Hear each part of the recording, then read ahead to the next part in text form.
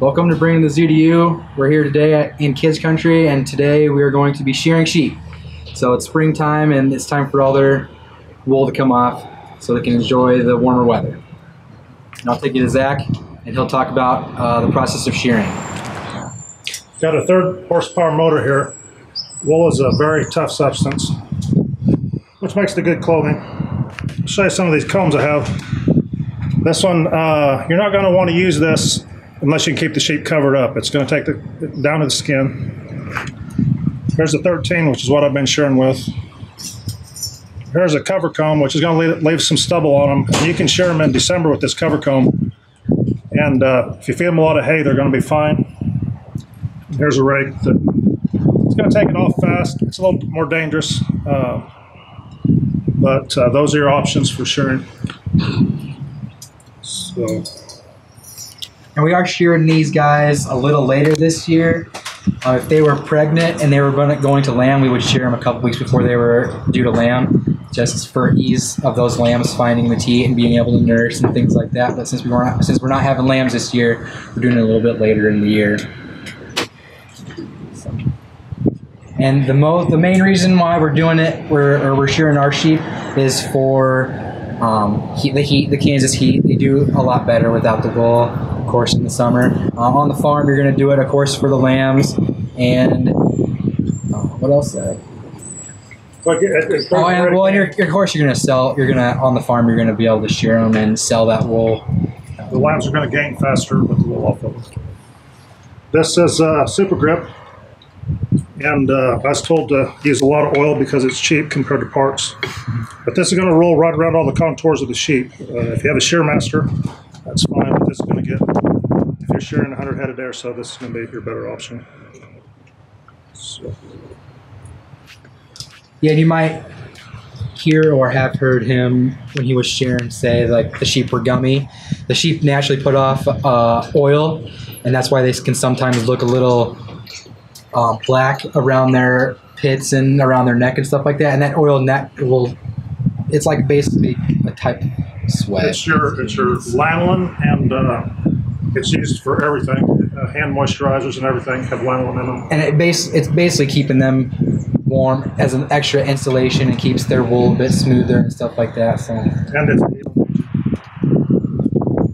That's what he's talking about when he says they were a little greasy, a little sticky. From that. But that's all natural.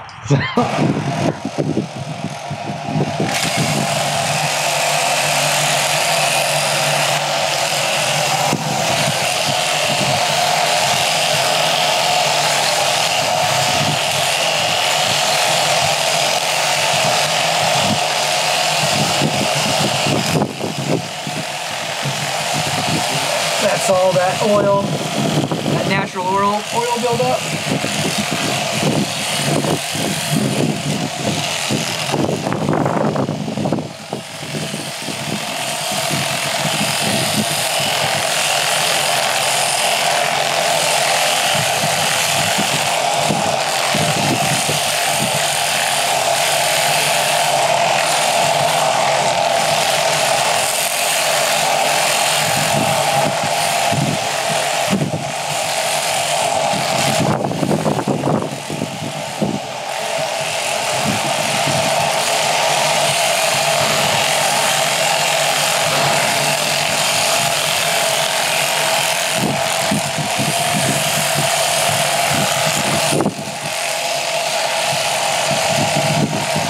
It's an African breed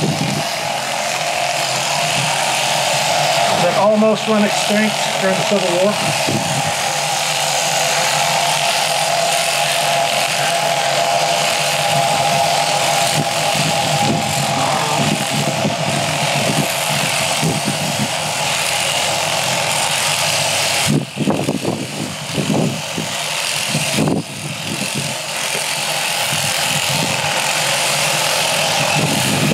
There was one farmer that had the uh, foresight to pin all his sheep down by the creek, and the armies couldn't find him.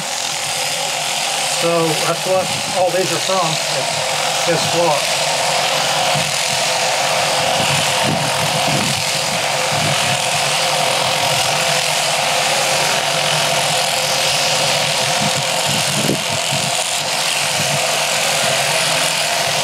These have been on grass and uh, really keeps the fleeces nice and clean having them on grass too.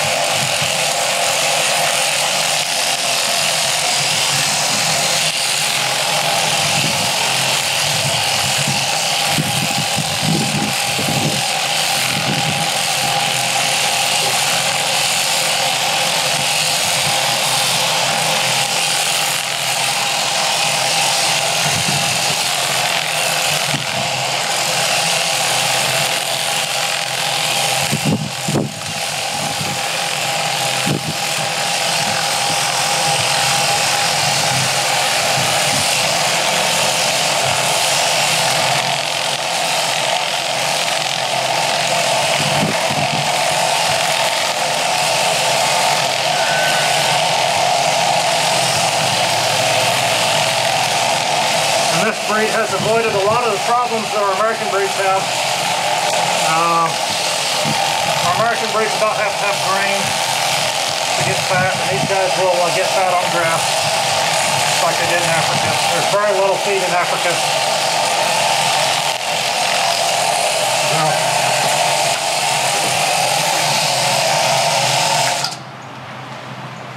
I knew a guy that went to Africa and uh, they eat the luncheons off the rocks. That's what they have for feed. So American sheep have pretty good.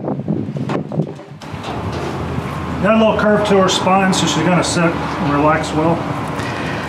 You always have a sheep to where you don't even really need your hands, but you do have a free hand to pull up the skin and keep the skin tight. But I'm mostly just to shear down and see, get an idea how it works.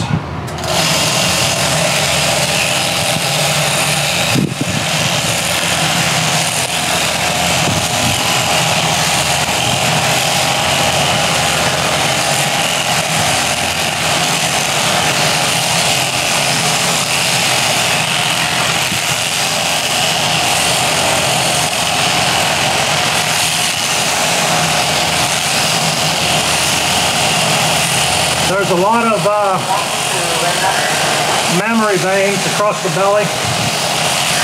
And you always do across the vein instead of with the vein. So I'm going crossways in this particular area.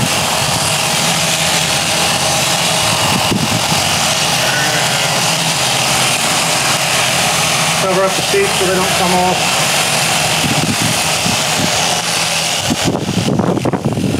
She's really coming.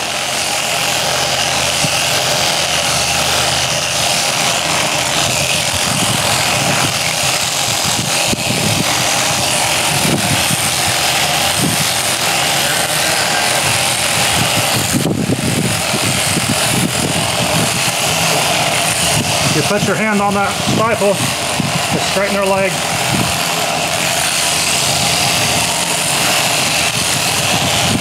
I move kind of slow, and uh, it seems like animals interpret something going fast as something predatory, so I'm going to sit a little better probably to make slow movements.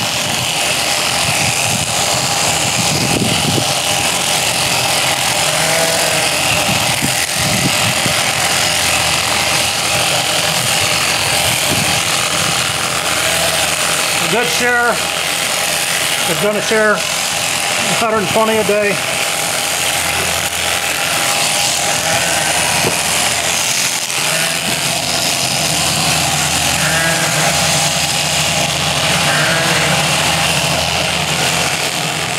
Got a, a juggler here, still boys, so go stuck alongside of the net.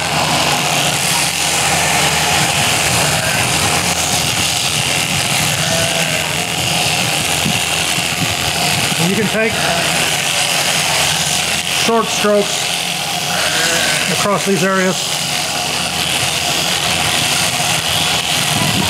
And always take the longest stroke as possible just for speed, which the faster you are, the less stress you're putting on the animal. So go as fast as possible without injuring them. With a horned animal, you have some obstacles.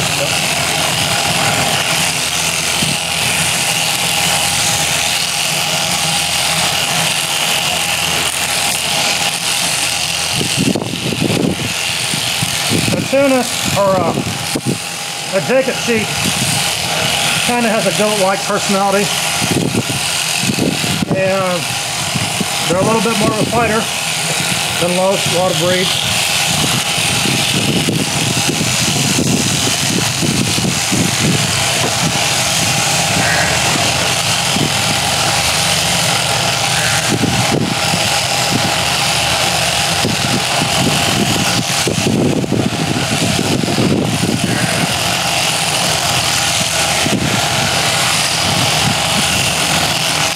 It's about the right temperature for that oil to uh, gum them up a little. When it gets about 100 degrees, you really fly through them, but it's like going through uh, a stick of butter. It's cold right now.